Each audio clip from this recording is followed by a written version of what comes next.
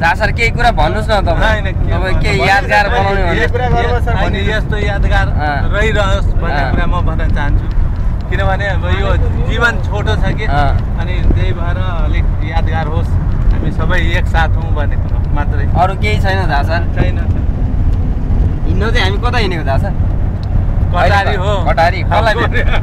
कसलाई भेट्न? निर्मला कार्की। निर्मला कार्की।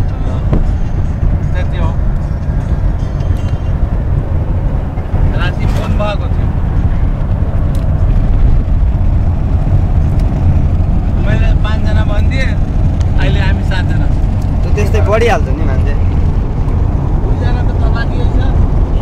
बाबाजी दुईजना बाबाजी छ। ए त्यो पैसा उठाउने ढाटमा नि